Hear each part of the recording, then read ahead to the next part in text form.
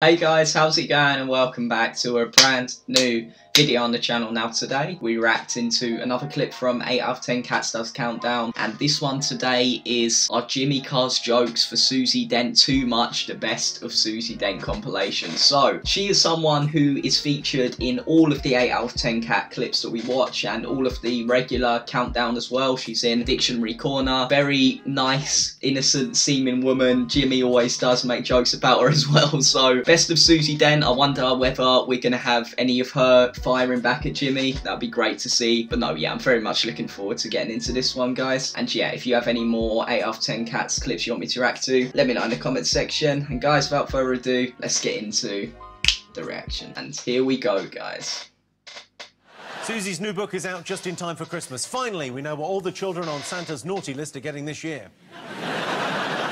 It says here in the 80s, Susie collected rocks. And there's me thinking that being the resident lexicographer on Countdown was tragic. Pet rocks. Don't you remember pet rocks? Well, if you couldn't afford a real pet, you had a pet rock. John, I said you were the most boring. She's but so it's bloody sweet. close. Our resident lexicographer Susie lived in New York for two years. They say New York is the city that never sleeps. Well, it did when Susie was there talking about lexicography. What's the weirdest rumour you've heard about yourself on this show? Oh, this will be good.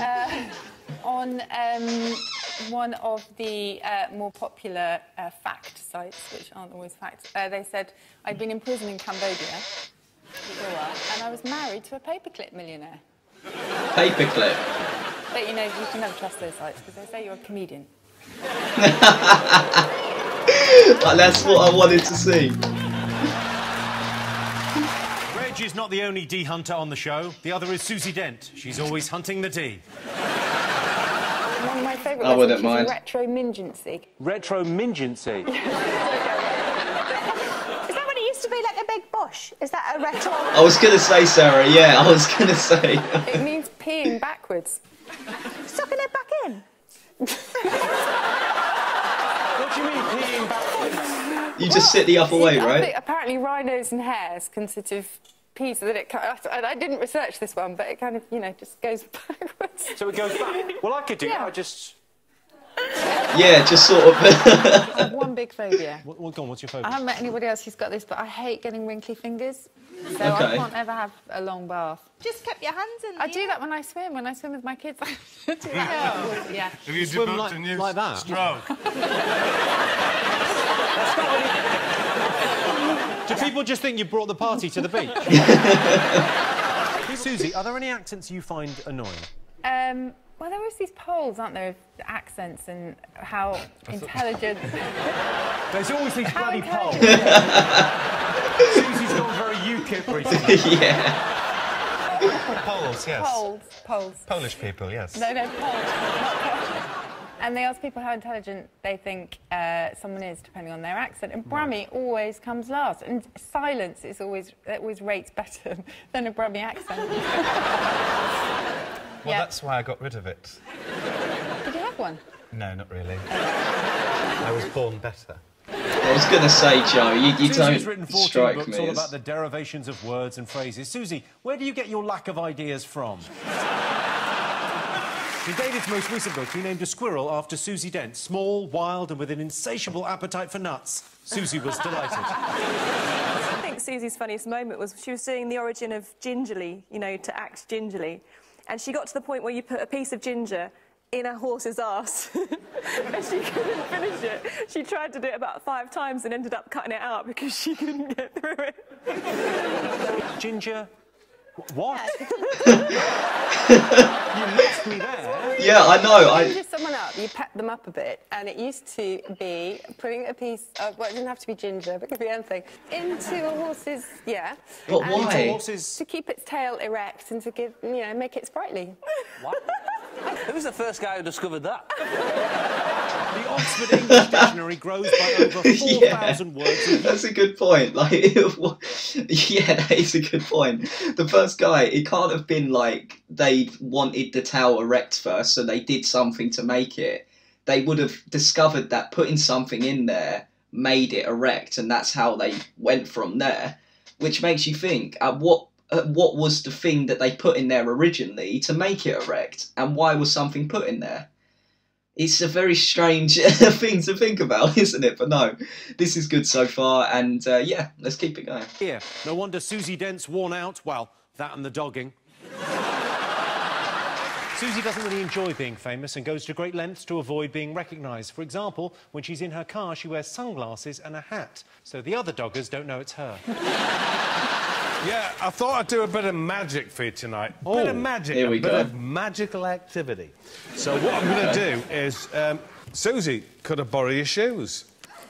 could I take your shoes off you? Okay. If you don't mind. Now, here we are. They're just a normal pair of shoes. Just putting the. Uh, that's really smelly. Just have a look. It's a normal shoe. Just pass it around. Have a look at it. That's one of Susie's shoes. It's a standard shoe, wouldn't you agree?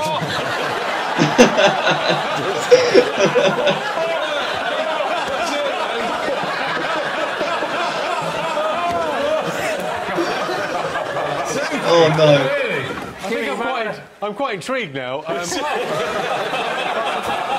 how bad does this smell?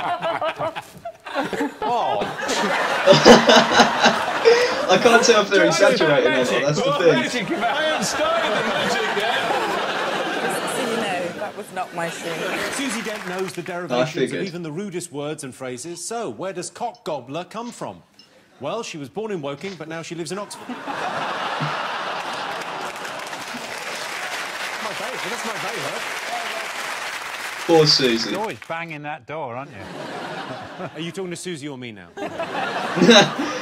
He's never banged. No, he is I though. have to say, thank goodness.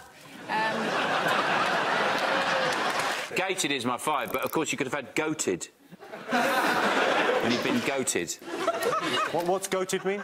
To be, to be goated, when you're goated, when you, you... In certain satanic rituals, there's a need to turn you into a goat, and then you go, we have goated him, we've turned him into a goat. Nick? And what, is you that true sacrifice him? Satanic ritual? Yeah, that's true. Thanks, Nick. That's Corey. Going to play by the rules, are you, Susie? Going to play it by the rules? Check, are you? Going to check if it's right? Boring. Why don't you have a bit? Why don't we just go, let's have a bit of fun. Put goated in.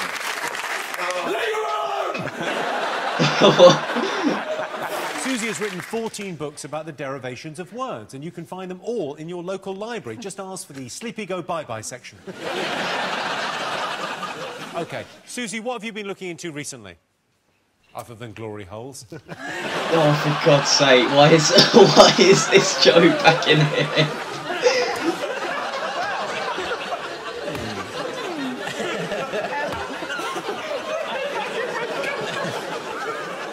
It's back. I know, I know. I remember this one as well. Sorry, Susie.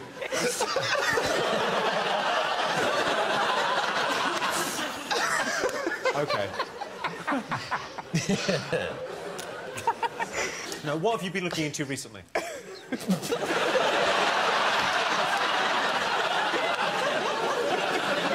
think this is all the effect of my having brought these. Yeah, it probably did spur it on, David. Yeah. I've been looking into the uh, the language of doctors, which is quite interesting. Okay. But things like um, brothel sprouts. Was- Brothel Yeah, you know, doctors have these ridiculous names to try and the black humour, sick humour, to Yeah. try and you know keep the horrible stuff at bay. So brothel sprouts, uh, basically genital, genital warts. Sorry, I'm sorry to make it. Um, yes, that's it. Really, I can't. I'm just thinking glory hole. That's thing is, one probably leads to another, though, doesn't it? They it? could have had Oh, more, boy. they could have had eight. You know, atomizer, that would have been eight letters. Uh, I think and there's- then this word, I don't even, wouldn't know how to pronounce it or what Oh, it means. that's just all the letters in the selection. I remember that one too. I've been telling we need to react to something with him. Uh, well, Rachel and I have um, a cat's down version of Snog, Marry, Kill for you, John and Sean. OK. okay. Well, I would like the results, please. Um, yeah. Well, there's two kills and one snog. well, no, you've got... Well, snog, marry, kill, you've got a... I think we're dead, Jimmy. Most likely. Susie's written 13 books. They say everyone's got one good book inside them, so fingers crossed for the next one, Susie. Um, I've got a question for you, Susie. The word Yeah. of the year, according to the Oxford English Dictionary in 2013, was selfie. Good choice? Very good choice. When a word starts to get lots of spin-offs, you know it's made it. And there were lots. There was belfie, which was a bottom selfie. Uh, elfie, which was a selfie of a small person. Sorry, John. Did you just I never heard of that one. I didn't expect slams from Dictionary Corner. Johnny was doing while you were doing that? He, was, he did some really nice drawings, in fact.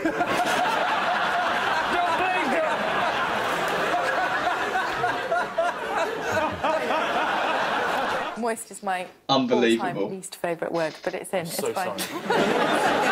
Yeah, it's a disgusting word, though, the isn't two, it? the two words I hate are moist and gusset. Susie, I would like to And yeah, apologise for any effect I'm having on you, but We're going to leave it at that, but no. Yeah, that was excellent. She uh, did exactly what I was hoping for, for her to actually go back at them a little bit, and she did it with John, with um, the joke about the Elfie. That was very good, and hitting back at Jimmy when she said on those websites it says you're a comedian. That was it was good to see, but no. I hope you guys did enjoy this reaction. And like I said, if you want me to react some more out of 10 cats, let me know in the comment section. And yeah, I'll see you guys later for the next video.